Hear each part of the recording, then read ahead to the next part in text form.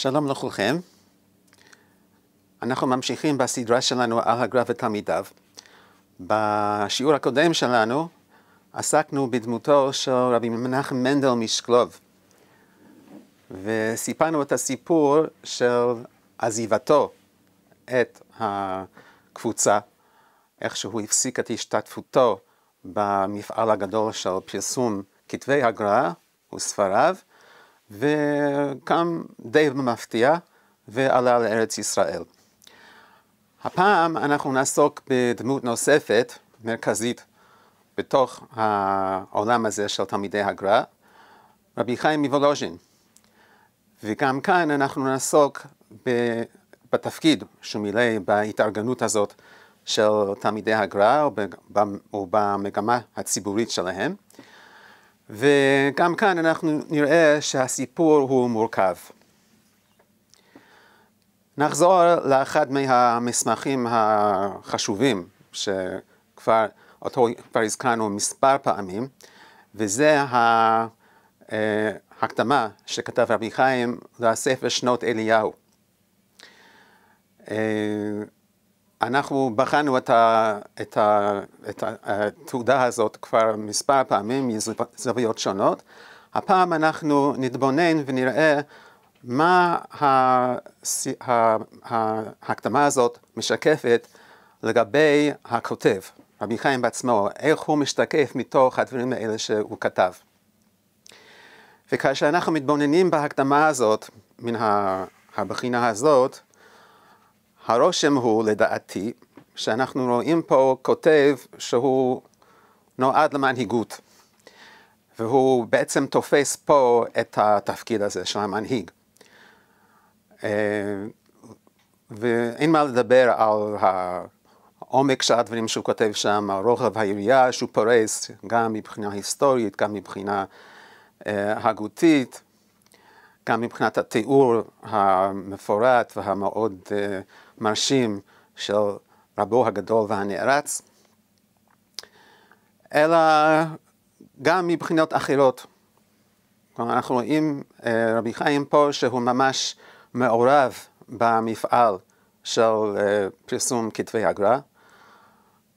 הוא מביא אותנו מאחורי הקלעים והוא מספר לנו דברים הקשורים בכלל להוצאה לאור של הספר הזה וגם של שאר הספרים. למשל, הוא דן בשאלה מה עומד לפנינו, כן, שוב, שנות אליהו זה אחד הספרים הראשונים שיצא לאור, זה שנת, שנת תקנ"ט, השנה אחרי, פריאת, אחרי פטירתו של הגר"א.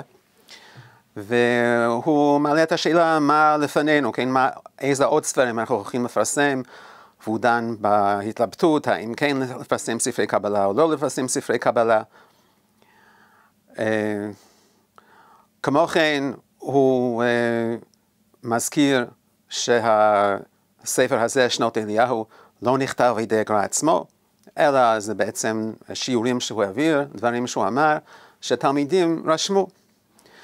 ורבי חיים מתייחס לתהליך הזה, כן, שתלמידים רושמים מה שאמר הגר"א, וכן, ובוודאי אה, הקוראים יעלו בדעתם את השאלה האם אפשר לסמוך על זה, האם זה מהימן, כן, אז רבי חיים פה אה, מרגיע אותנו, כן, הוא, החיבור של המשניות, סידרו תלמידיו בחייו ועל פיו. וכבר היה למראה אין הנבחר מבית דין הרבה בקהילת וילנה, כן? זאת אומרת, הבית דין של וינה ושל וילנה כבר עבר על הדברים וראה אותם ובחן אותם, והם ראו שזה בסדר, אה, כן? כן, גם בעינינו ראינו כי טוב ויפה סידרו, כן, רבי חיים אומר, אני גם כן עברתי על זה, ואני ראיתי שהכל שם בסדר, הכל שם מדויק, אה, הוא גם מספר שחלק מהדברים אה, בחיי הגר"א הראו לו כבר את הרשימות האלה והוא אישר אותם. כלומר, אז, אז רבי חיים מעורב בעשייה פה, הוא אחד מהמגיעים, אולי מגיע ראשי, הכי מוסמך פה. אה, וכן, אז הוא ממש כאילו תופס פיקוד על העניין הזה. והוא סומך על המוניטין שלו ועל הסמכות שלו כדי שאנחנו נבין מדבריו אני אמרתי שהכל בסדר, הכל תקין, אפשר לסמוך על התלמידים שהעתיקו, אז זה ככה, כן, באמת אפשר לסמוך על זה. ובוודאי ובוודאי לגבי מה שהוא כותב בסוף, שכל מה שיש בספר הוא דברים נכונים וראויים, אה, ואם אולי ימצא המעיין איזה מקומות שיהיה איזה מקום לפקפוק, יתלה בחסרון ידיעה או בהשקעת לישנה, וכל אדם ישמור מאוד לנפשו, לשמור פיו ולשונו מלדבר עתק על צדיק יסוד עולם רבינו הגדול והקדוש. כן? זאת אומרת, רבי חיים אומר, חס ושלום להשמיע פה איזה ביקורת או איזה, אה, או לחשוב שיש פה איזה טעות. אם אתה נראה לך שמשהו פה לא, לא נכון, לא תקין, אז ת, תתלה את זה באיזה תקלה בעיקר שלך. אה, אבל בגדול הדברים פה כולם נכונים. אז אה, שוב, עצם האמירה הזאת, שיש ספר פה שצריך לקבל אותו ואסור לחלוק עליו, שזה משהו באמת אה, נדיר ויוצא דופן וחדש בנוף של הספרות התורנית. רבי חיים לוקח על עצמו לומר את הדבר הזה. אז אם כך, אנחנו רואים פה בן אדם שהוא מנהיג והוא בעל סמכות. והוא עומד במרכז העניינים. עכשיו, בעולם של המחקר והכתיבה סביב uh, הגר"א ותלמידיו, יש כאלה ש, שכתבו שבעצם הרבי חיים תפס את התפקיד הזה גם לאחר מכן. כל, לאורך כל התקופה הזאת שבה uh, הוציאו התלמידים את כתבי הגר"א, בעצם רבי חיים היה המכניס והמוציא והמוביל בכל המפעל הזה. אבל האמת היא שכאשר אנחנו בוחנים את העובדות, אני לא חושב שהאמירה הזאת היא נכונה, ויש פה uh, מקום לפקפק. בקיצור, אני לא חושב שזה נכון. קודם כל, אחרי שנות אליהו, אני לא מצאתי שום עדות uh, uh, ברורה, אפילו פחות מזה, שרבי חיים באמת השתתף באופן מעשי בהוצאת הספרים.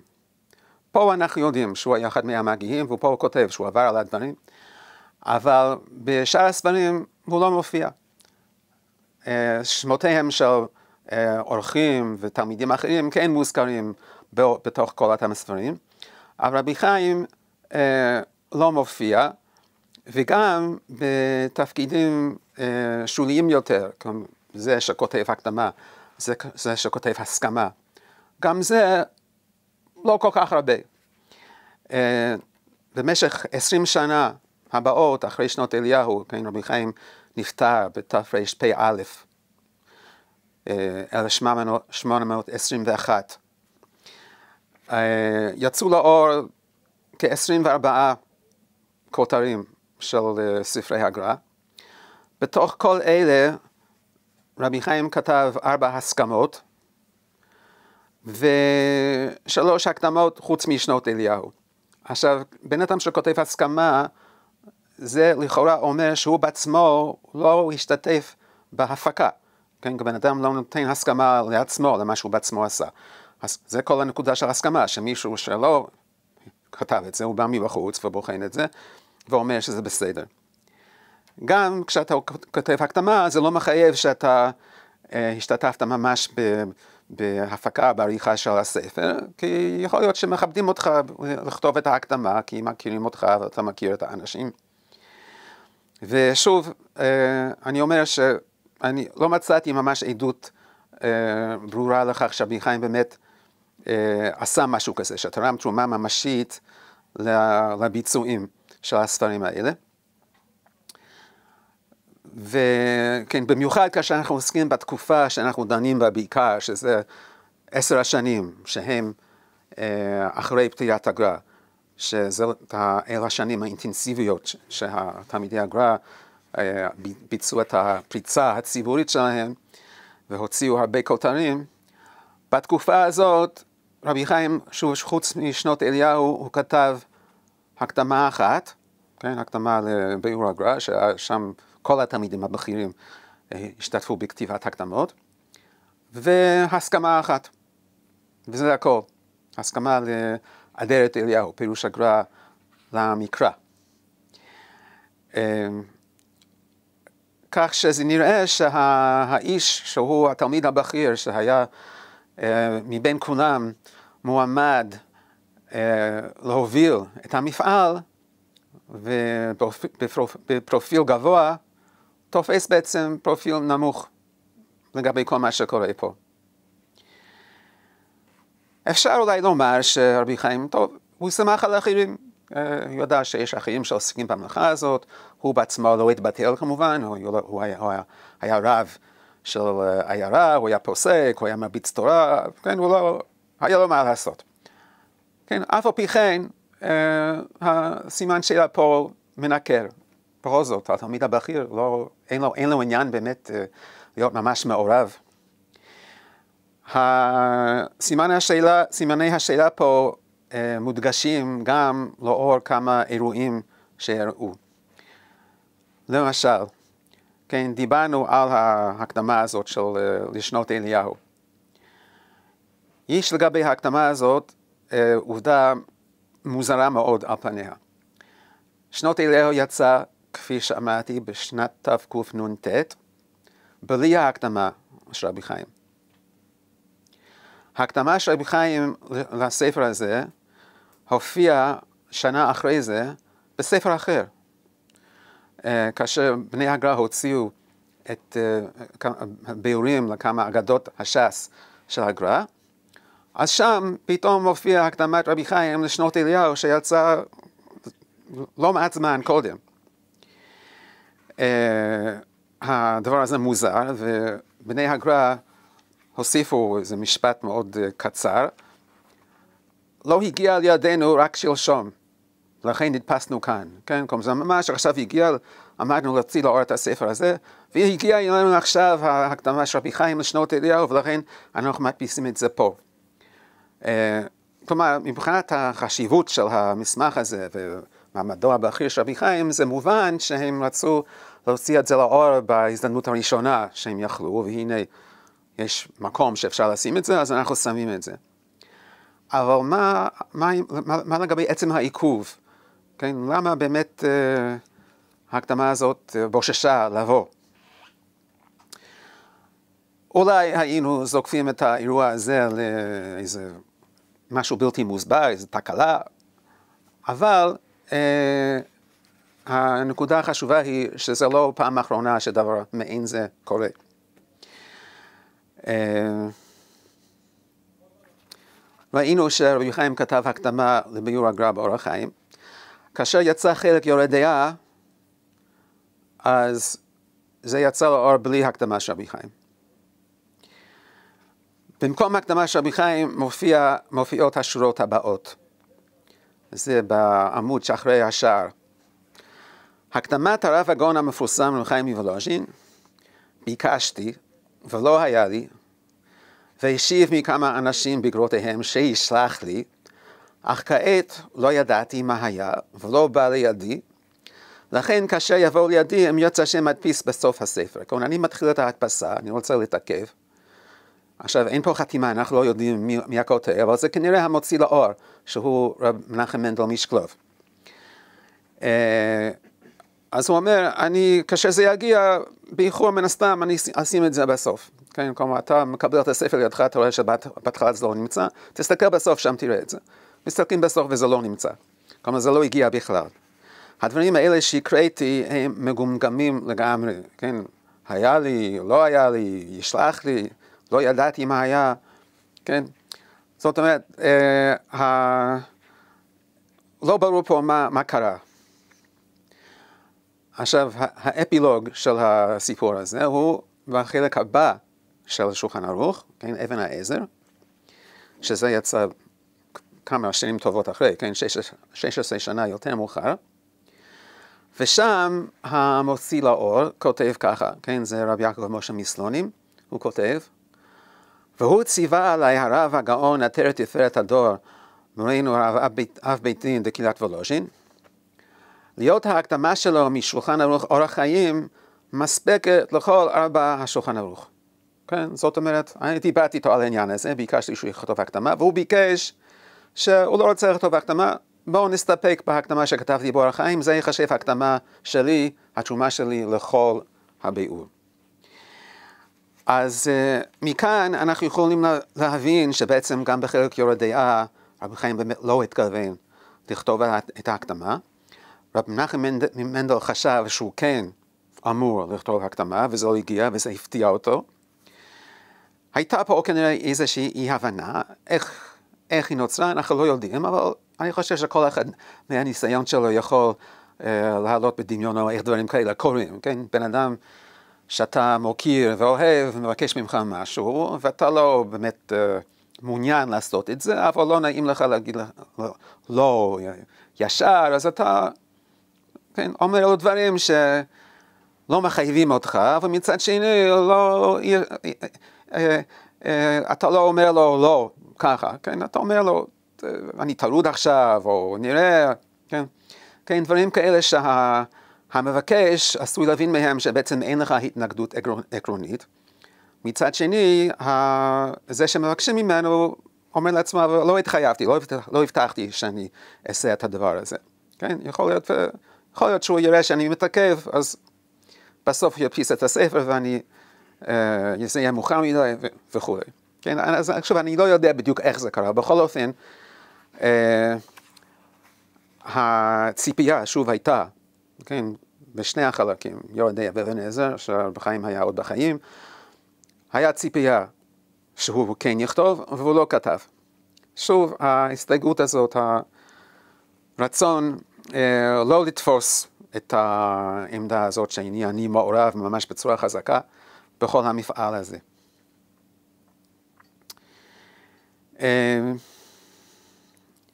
והשאלה נשאלת, אה, למה, אם זה נכון. כלומר, אנחנו רואים מצד אחד שבהתחלה רב חיים כן מעורב בדבר הזה, וזה שהתעכב בכתיבת ההקדמה לשנות אליהו, אני ארצה לטעון שבעצם זה משקף גם כן איזושהי התלבטות עקרונית שהייתה לו, שבסוף הוא הכריע לטובת ההשתתפות המלאה במפעל הזה, המלאה והציבורית והנראית.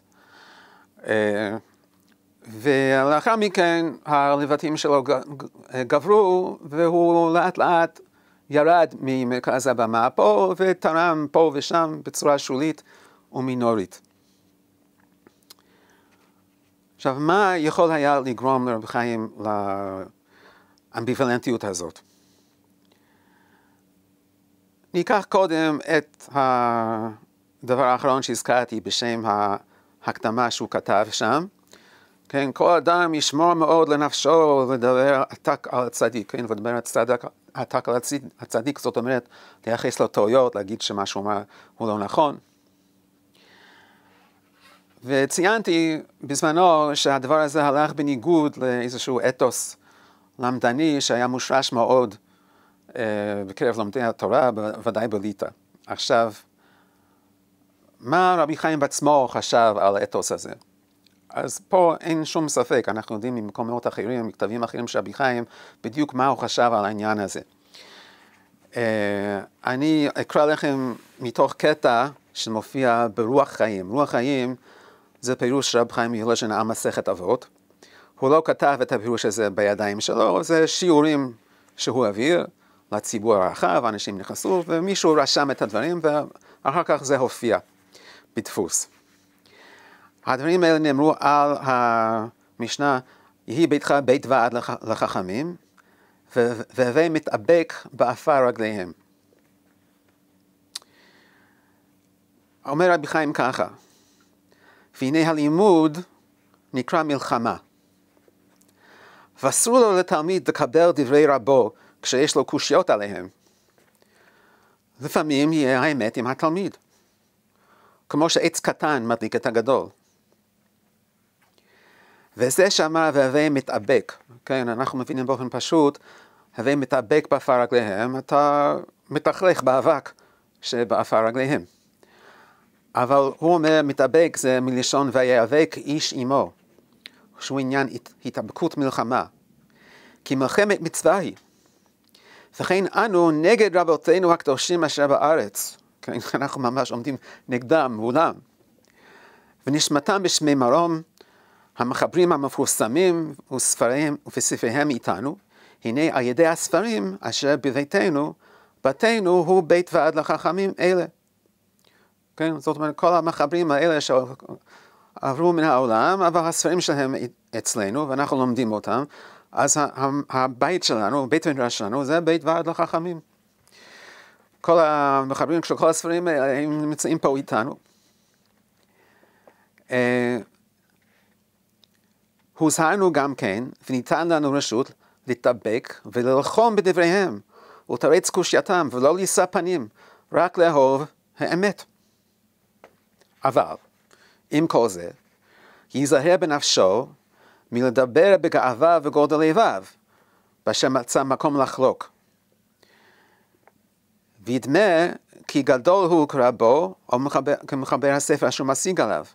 כן? זאת אומרת, מה שאתה צריך להיזהר פה, זה כאשר אתה עושה את זה, שאל ירום לבבך ואל תחשוב, אני בעצם כמוהו, אני בעצם חכם כמוהו.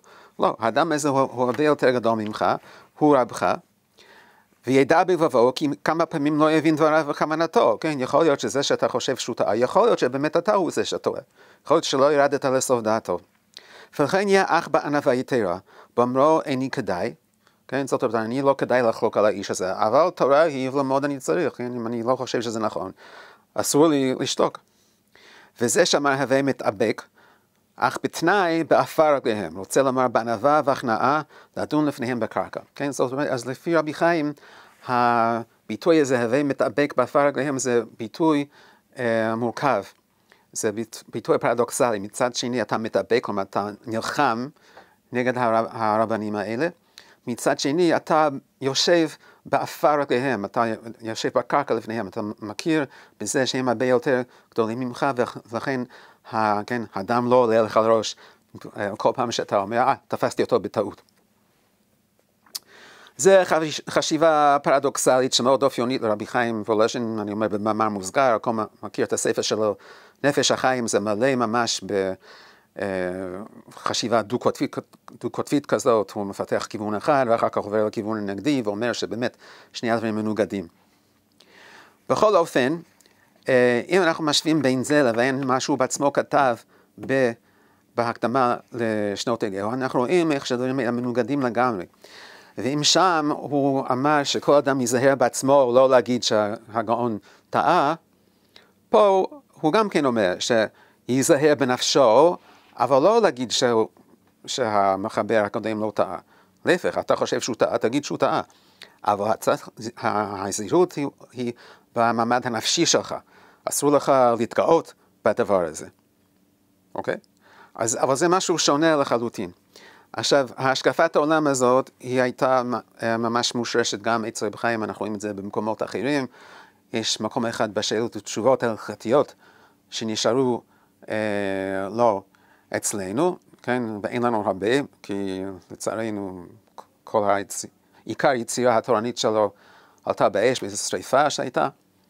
אבל באחת מהתשובות הוא אומר, אני קיבלתי מהגר"א, כן, הגר"א אמר לי, אם אתה חושב שאתה צודק, אל תשים לב לכל מי שאמר נגדך, אפילו זה אנשים קדמוניים וגדולים ממך. כמובן, אנחנו יודעים שהגר"א בעצמו נהג ככה, והנה הוא מדריך את התלמיד שלו גם כן לנהוג ככה.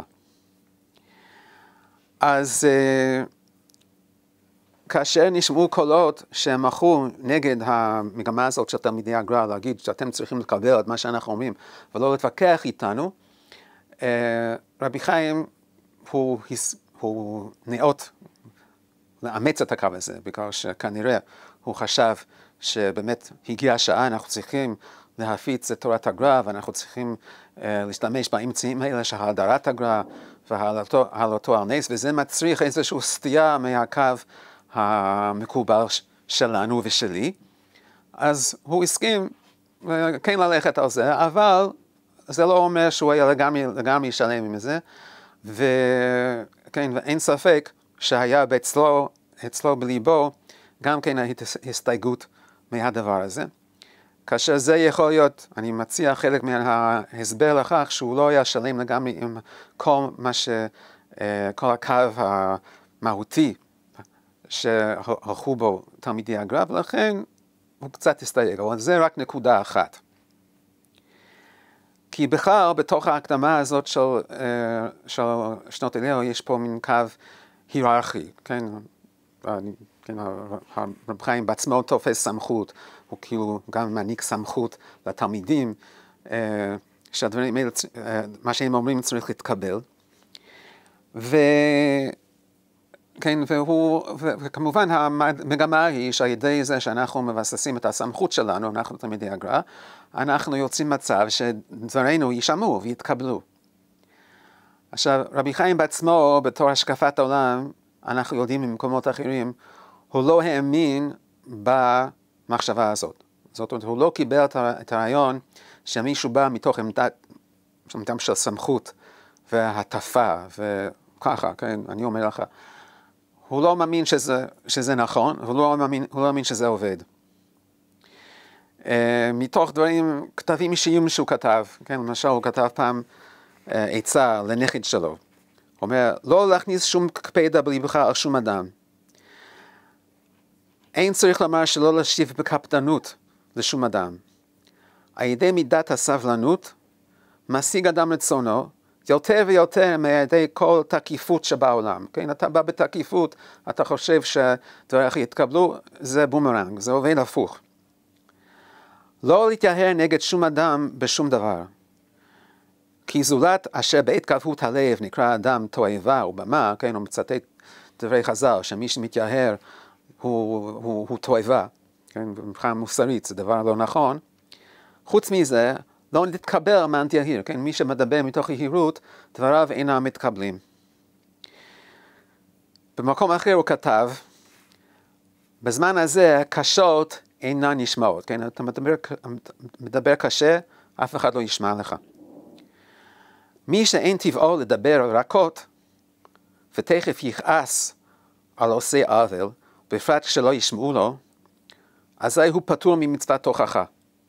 כן? מי שלא ידבר, יודע לדבר בשפה רכה וכל הזמן מדבר קשה וכועס על אנשים, אנשים שהם טועים ורשעים אפילו, הוא צועק עליהם. מי, של, מי שהולך בדרך הזאת, תעזוב, כן? עדיף שתשתוק, אתה פטור ממצוות תוכחה. ו... וכאן יש לנו אה, באמת שאלה עקרונית לגבי מצוות התוכחה, שרביים נקט בו עמדה ייחודית. בגמרא נאמר שרבי טרפון אמר שאני לא יודע אם יש בדור הזה מישהו יודע להוכיח. כי אם מישהו יגיד לחברו, טול קיסם מבין שיניך, הוא יגיד לו, טול קורה מבין עיניך. כלומר, כל מי שבא ומוכיח, אומר, אתה עשית משהו לא טוב, אז הוא יגיד, נו, ומה אתה? כן, גם אתה עשית משהו הרבה פחות uh, uh, טוב, הרבה יותר גרוע.